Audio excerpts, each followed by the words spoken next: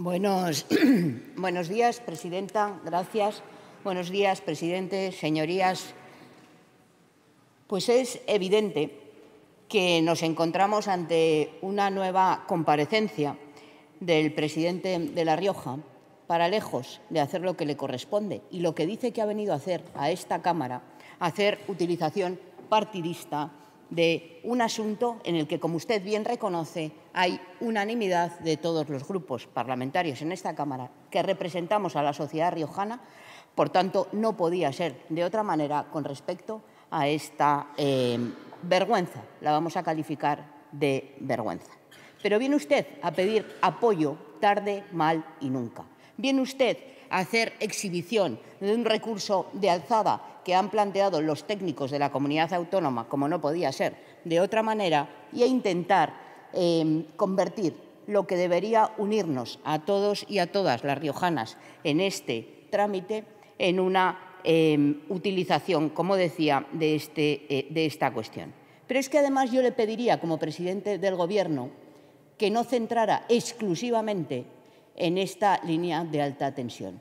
Le voy a decir una cosa. En la anterior legislatura fueron muchas las ocasiones en las que planteamos en este Parlamento una monatoria real que hubiera hecho inviable, desde luego, la eh, instalación de estas torres de alta tensión en nuestro, en nuestro territorio.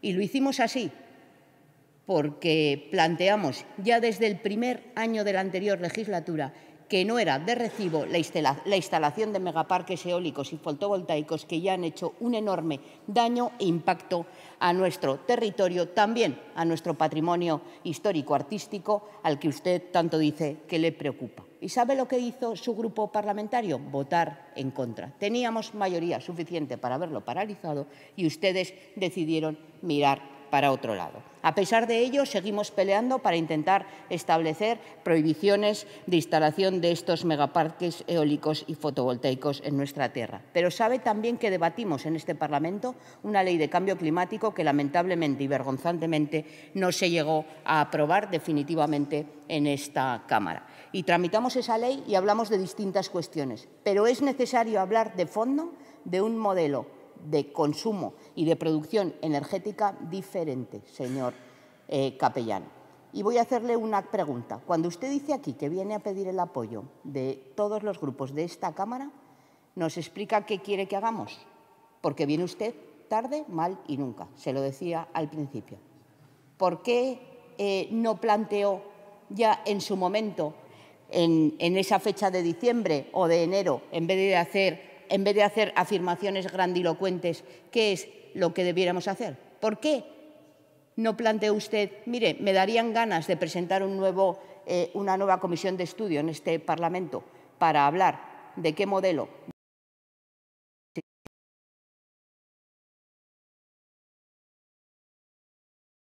energética queremos generar en nuestra comunidad. Y de qué modelo de consumo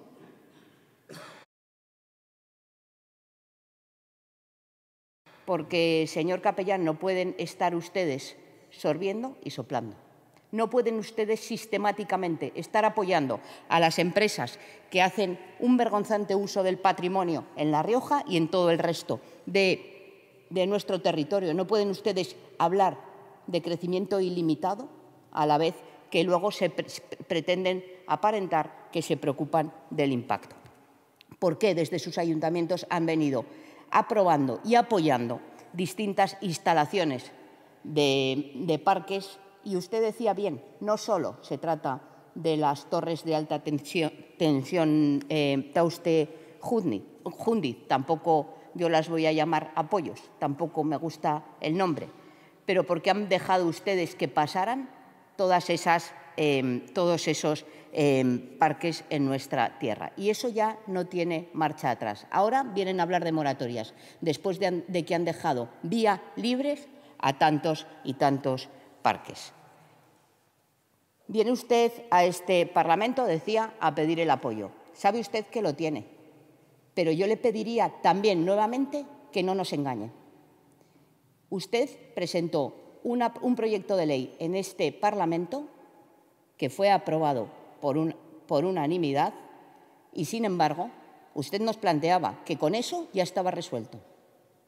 Usted lo planteaba y traigo esta cuestión. Dijo usted en este Parlamento, les he hablado de las torres de alta tensión de Tauste, Jundiz, y usted planteó en este Parlamento que con eso paralizábamos una serie de cuestiones. Sí, señor. Sí, señor capellán. Sí, señor capellán. Usted lo dijo. Y, sin embargo, hoy seguimos dando vueltas a esto. ¿Qué es lo que va a seguir haciendo?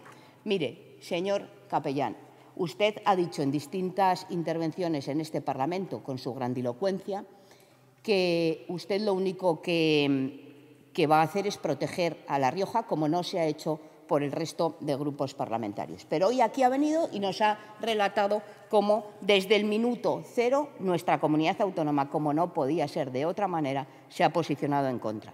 Pero se ha posicionado en contra exclusivamente de esto. Y ya en aquel debate, en el de la, ley que se aprobó en enero del 2024, a instancia de su grupo parlamentario, yo le planteaba que por qué no estudian la posibilidad de decretar también la nulidad de todos esos parques que se han partido en nuestra comunidad. Y usted, como siempre, dio la callada por respuesta. Señor capellán, le pido de una vez por todas que no solo nos proteja frente al Tauste Jundiz, que se ponga realmente a definir un sistema de producción energética que no sirva a los intereses de los de siempre. Porque me consta también que se ha dedicado usted a traer, a invitar a esta Cámara a distintos alcaldes, a representantes de las OPAs, a los que quiero dar la bienvenida a este Parlamento, a los representantes de las plataformas de protección de nuestro territorio.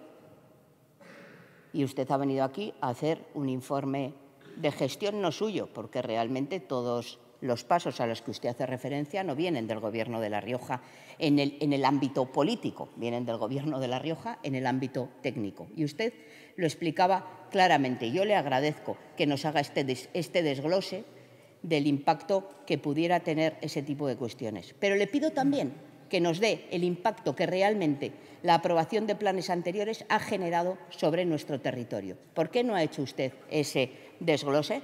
¿Por qué no se posicionaron? No, les miro a ustedes, porque ustedes tenían la mayoría necesaria para, junto a nosotros, haber aprobado esa moratoria en el 2019. ¿Sabe lo que votaron? Señora Señora Manzanos, usted era diputada, votaron en contra de la paralización de los proyectos. Usted, señor Capellán, no estaba. Ustedes votaron en contra de la paralización de esos proyectos. Ustedes se pusieron de acuerdo, como no puede ser de otra manera, con el Grupo Socialista para no aprobar la ley de cambio climático en esta comunidad. Se pusieron de acuerdo mire, no me haga gestos de mala educación porque no, no, le, no le vienen bien, señora Manzanos. También sigo, sigo... ¿La consejera sí puede interrumpir?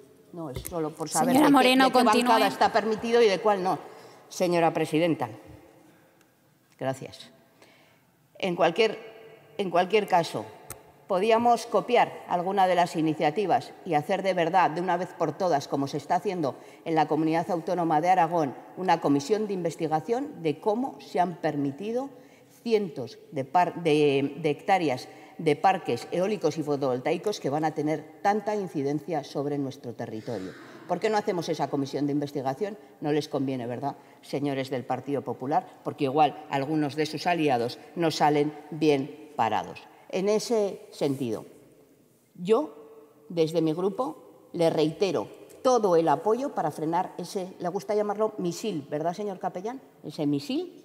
Hoy no lo ha citado en ningún momento, parece ser que sabe usted que ya lo mucho cansa, ¿verdad, señor capellán? Bueno, pues vamos a juntarnos todos para parar ese misil, aunque desde luego hemos de ser conscientes de la realidad. Y eso no tiene posibilidad alguna de instalarse. Pero yo vuelvo a reiterarle, vamos a parar todo aquello que tenga una incidencia negativa sobre nuestro territorio, sobre nuestra economía, sobre nuestro modo de vida, sobre nuestro patrimonio histórico, artístico. Vamos a estudiar la posibilidad de establecer la nulidad de todos aquellos parques que se han concedido en fraude de ley como consecuencia de su fragmentación Eso y tantas cuestiones también le compete a usted. Y no, señora Manzano, no miro a ese lado, porque aunque parece que no se han enterado, ahora gobiernan ustedes. Por lo tanto, les, conviene les compete a usted abordar ese tipo de cuestiones. Espero, señor capellán, que no nos sorprenda con una nueva comparecencia cada vez que quiera pedir el apoyo. ¿Sabe lo que está bien hacer? ¿Sabe lo que se llama cortesía parlamentaria? ¿Sabe lo que se llama lealtad institucional? Tener una reunión con todos los grupos para pedir los apoyos si así lo considera. Pero además, lejos de venir a una comparecencia en este Parlamento donde usted tiene el tiempo ilimitado y los demás lo tenemos limitado, vamos a hacer una comisión de estudio para poder articular conjuntamente y colectivamente y no hacer debates binarios. Señor capellán, que es lo que usted le gusta. ¿Está conmigo o contra mí? No estamos con usted nunca, señor capellán. Estamos siempre con los riojanos y con las riojanas. Muchas gracias.